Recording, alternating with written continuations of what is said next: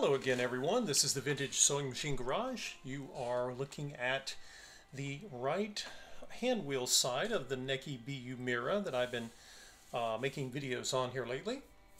And I wanted to show this to you all. I've, I've shown in the past on other machine models um, why removing the hand wheel is, is very helpful and important. Um, I'm going to show that to you guys today with the Necchi here. And the Necchis have a, a, number of unique features. Most machines you can't really say they're unique with their hand wheels per se. Uh, but the Necchi is particularly unique. Uh, this one that I that I found recently, I was very excited to, to know that the paint was in good shape. Even the paint on the hand wheel, this sort of a cone shaped hand wheel here, uh, convex shape to the to the wheel, uh, and then this beautiful you know chromed rim. Uh, the clutch knob, you'll notice it's not pitted. Uh, I don't even think there might be a slight, I don't know if there is a scratch, it's awfully fine. It's gorgeous. The chrome is beautiful and it, it, it works in pretty much the way all of these clutch uh, stop washer systems worked. Uh, they're designed, of course, to disengage the drive shaft so you can wind a bobbin without your needle spinning up and down. Uh, so I'll take out or loosen the, uh, this is the set screw. And of course I'll hold the, the hand wheel still and we'll turn to take the, the knob off. And behind this knob we will see, oh there it is, the washer, right? And it, it's it's styled differently, but it's pretty much uh, pretty similar to um, to those in other machines. Works the same way. Now I'm going to pull. Well, I said I was going to pull this off, uh, but it's it's.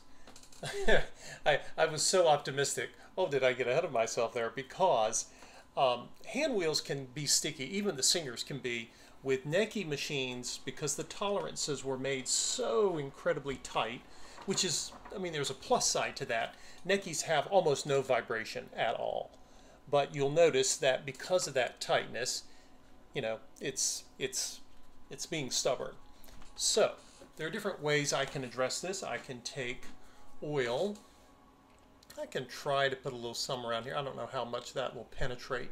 I normally start if I'm not sure how st uh, stuck on something is, before I go to things like 3-in-1 penetrant oils, I try uh, normally just to, you know, I'll try something like sewing machine oil and see if that will, that, uh, see how that works.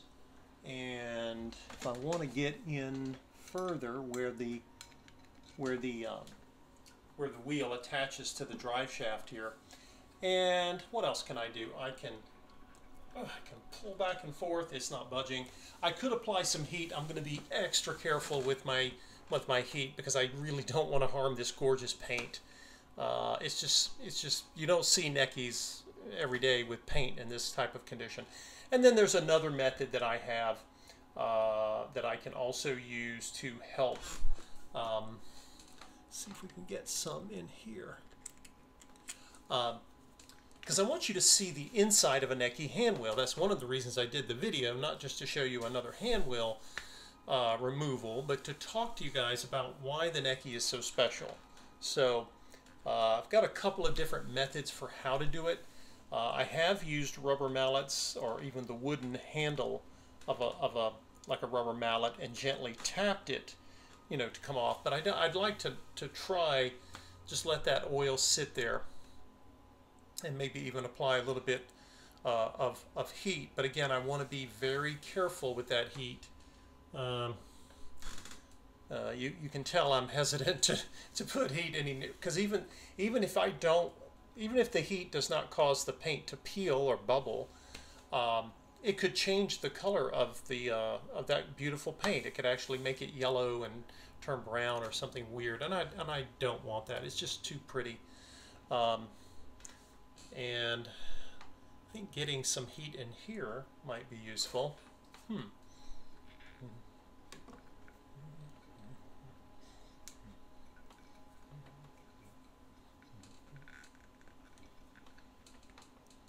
I'll tell you what, I'm gonna I'm gonna try something else, and before I try heat, and see if that will take the get the wheel off safely. Okay, guys, I wanted to set up a way to get this hand wheel off, and I've used different techniques before. I've had stuck hand wheels with all kinds of different machines, including Singers, but a lot more seldom than with Necchis. Necchis, when I see them, I think, hmm, I usually have my work cut out for me, and you're going to see why. so anyway, what I did was I took a little small terry cloth towel, and I took, notice I took wood, not metal. I took a wooden handle, and I wrapped the terry cloth around the end, like this. And then I took, uh, let's change the angle here so you guys can see up a little bit better. And then I took a hammer and I very carefully and gently tapped on the, the left end of this wooden handle and I kept tapping here and notice I put the wooden handle right up against the rim. You have to do this carefully and with the towel because otherwise you're gonna you're gonna hurt the paint here on this end. And then after I did it there, I went on the other side of the spool pins and did both sides because I want to be really careful not to warp the hand wheel. That would not be cool. And anyway, I was tapping it. I didn't do it because I didn't want you guys to have to hear the, the loud smashing. But anyway, that's essentially what I did. And as I got more space, I did it very carefully. If you you might want to have someone with you to, to, to be ready to catch this because it you know as soon as you enjoy the, the you know the euphoria of getting the wheel off and it goes onto the floor and it scratches or bangs or, or you know you don't want to do that obviously and anyway as I was tapping this out I, I kept adding sewing machine oil I never added heat heat would have helped me but uh, I would have potentially harmed the paint on the hand wheel uh, other hand wheels are not as tough to do this way. And now you can see what was holding it on and why I was fighting so hard to get this off for you guys. So the, the paint looks gorgeous, the chrome looks gorgeous, nothing's been hurt. But the first thing you want to know is that there is a bushing type piece on these machines. And it's something to be aware of. Fact, let me turn this toward you guys. I want you to see this. Um, I had a Necchi Mira one time, and the piece that you see here, it's, it's one of the great ironies uh, of production back in these times. This, this entire uh, shaft end is brass. I mean, it is incredible. It must have been very costly to make. However, the piece that it, that um, this piece attaches to the drive shaft of the machine, and you can see there's a there's like a big flat washer here. And of course it's extra fancy and extra complex. Unfortunately, the black section here is plastic. Whenever you're dealing with hand wheels on a Necchi, one of the reasons you want to be extra gentle and slow and methodical is that you do not want to damage this, this piece. Why they chose black plastic, I don't know. The rest of the machine is all gorgeous quality steel. I, I really don't know. I can't speak to it. Let's zoom in just a bit. You can get a closer view of it. Um, you know, again, it's one of these pieces, and this machine will not work without this. Uh, I think it's some sort of bushing. Uh, I may be not be using the right word. Forgive me that. So you can see that this hand wheel may have never been off since 1953. You can see some of the corrosion on the brass. I'm going to be cleaning that up. We'll uh, we'll put some alcohol on that and that should uh, help help us get it off. Um, the other thing I wanted to show you guys was that the Necchi hand wheels are different. Look really closely, guys. Uh, most of the time, the hand wheels, you know, they're they're bored through, and this is nothing but steel inside. But with the Necchi, there is an extra feature, which um, basically means there's a hollow ring inside and then there is wicking. I believe it's some sort of wool felt wicking.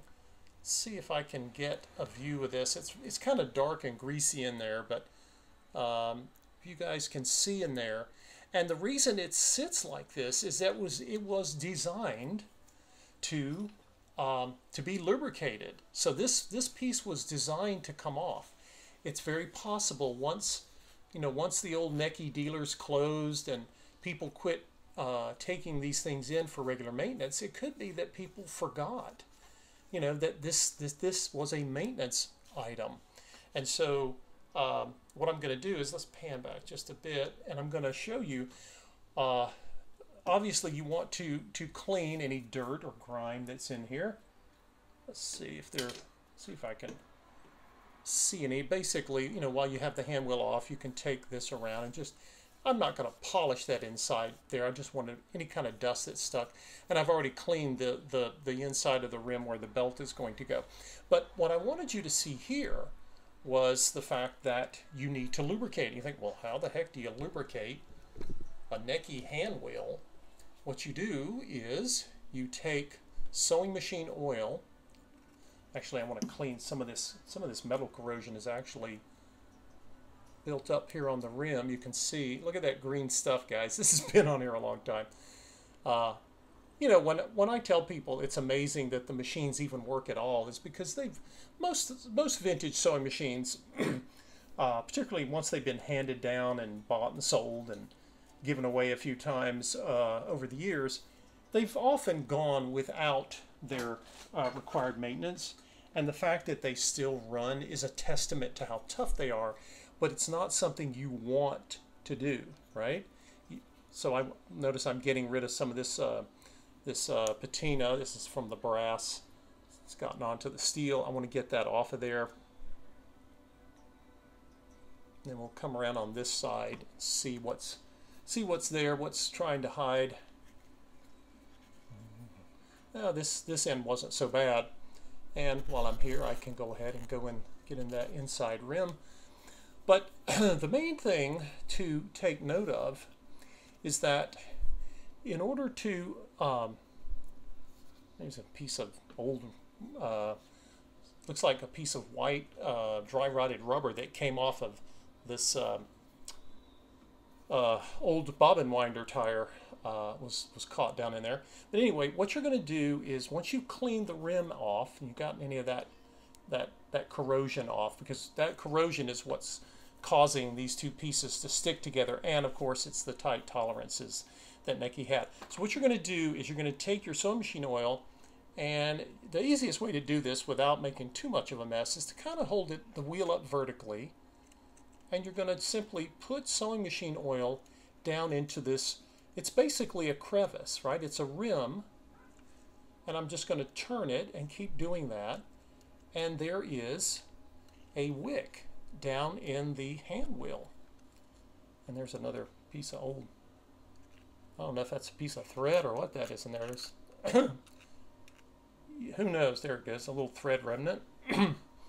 but you're going to keep basically just turn it and you want to soak the wick with sewing machine oil. Not with just one drop. I would go ahead and, first of all, you kind of take a look in there, use a flashlight if you need to. Sorry, I can't really hold the flashlight right now and do all this too, but what you're trying to accomplish is to soak this wick with sewing machine oil, okay? And that is going to help. Uh, the idea behind this is that the wick would hold the oil and that the oil would keep the wheel lubricated, but it has to be taken off in service for that to happen. So again, we can't blame the engineers for that. That's, that's just, you know, lack of maintenance. And while we're here, I definitely want to get this old corrosion off. I want to get back down to the brass. Uh, I do not want to sand this um, because I, I really don't want to put any scratches in this amazing amazing piece. You can see the alcohol is taking off the old uh, brass and bronze and copper all have they often have this sort of green patina look to them and this is this is really something um, and you know, as you go around, you can you can turn it and um, let's see. Yeah, the alcohol's pulling it off, which is great. So as you can see, there are different ways to get these hand wheels off. I used the tapping method with oil and it came off, but you, you can only tap so hard. If you tap too hard, you could you could warp the hand wheel. You can certainly apply heat if you're afraid to use a heat gun because heat guns can really destroy stuff really quickly. They get very hot. You can try a hair dryer or even a little space heater, but again, you got to be real careful. You don't want to cause any harm to the finish of the machine because that's part of its beauty. Um, and yet you got to get some of this stuff. Um, you know, you got you ultimately want to get the handle off if you can. Uh, some people might not, but I I know that I knew that it required lubrication, and I wanted to be able to get the hand wheel off so I could also more easily attend to something like this uh, bobbin tire. It's a lot easier to change when that hand wheel's not in the way. And so uh, if you have a Necchi BU Mira or any Necchi, uh, I would suggest while you have the hand wheel off, go ahead and um, uh, go ahead and clean this this hub here. This it has different names. I've seen it in a parts uh, listing for the Necchi called a bushing. Um, it's again the Italians decided to go all out and do something extra fancy. You know, they didn't have to, but they did. Um, and I see this sometimes today in Italian designed uh, uh, products. Uh, you see that a lot. Very creative in the way they did things. Um, and the later Necchi machines would not be made with the same quality because Necchi, just like Bernina and Pfaff and the other European companies, were under a lot of price pressure. You know, the cost of labor was going up after the war, and you have Jap- the Japanese coming in and undercutting everyone. Remember, Japan was the country of outsourcing uh, after the Second World War. Uh, today, Japan is not a cheap place to produce things, but it once was. And uh, before the opening up of China and other parts of Asia, you would have, you basically had uh, Japan as a primary source uh, and even Italy as well, until uh, the cost of production went got higher in Europe.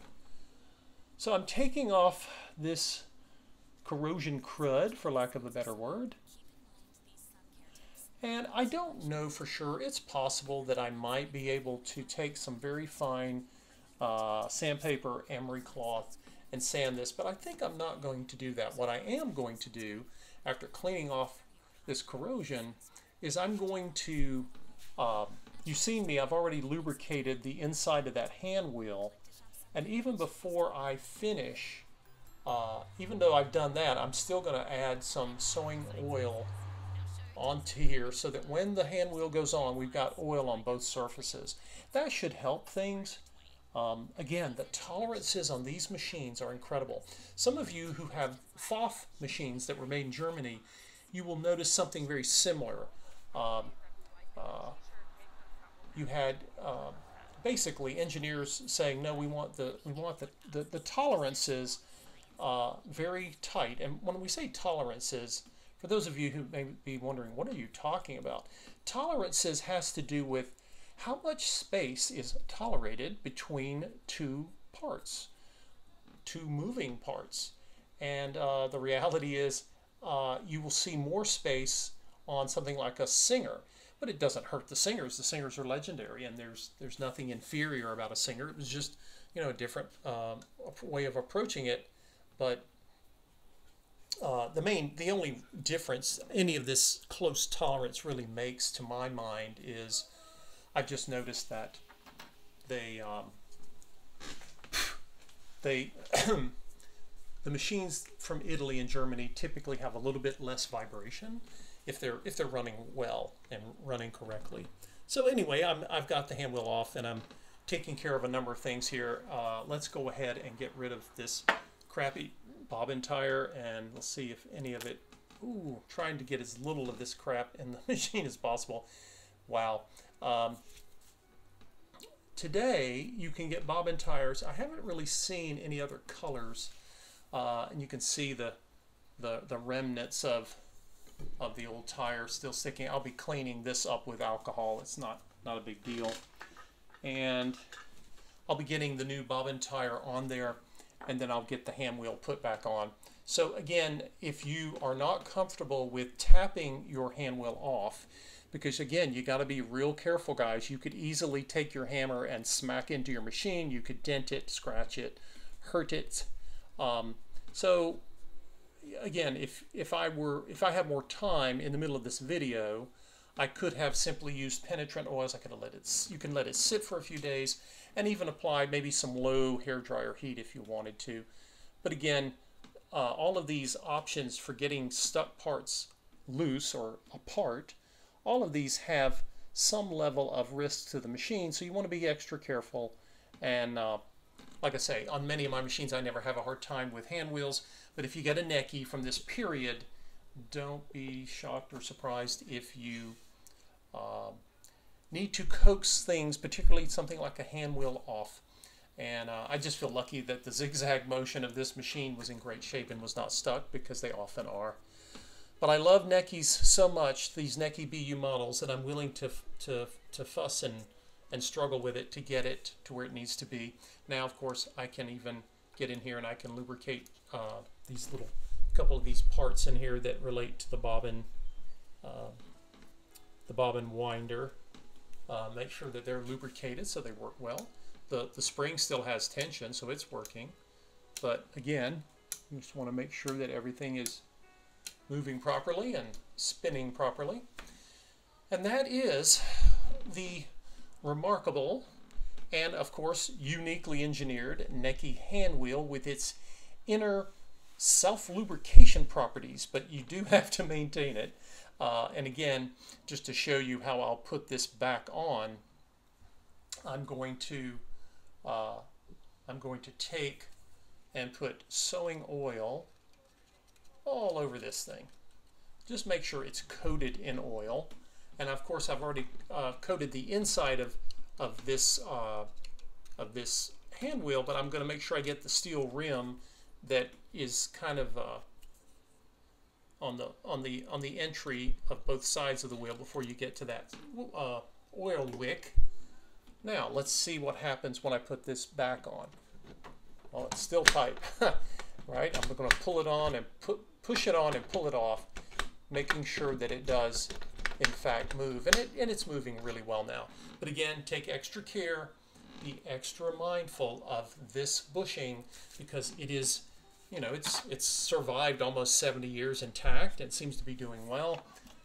But it's, it's made of a hard plastic. And, you know, plastic is um, not forgiving. If it's old and tired and you're rough with it, you could crack it, and then you have to find a replacement, and they're very tough to find. So this was, like I said, getting the hand wheel off is is not just a you know it's not a quick thing. You just want to say, oh, just get in there and do it. You need to really take your time and decide: Do I want to use heat? Do I want to use uh, chemicals, or do I want to use?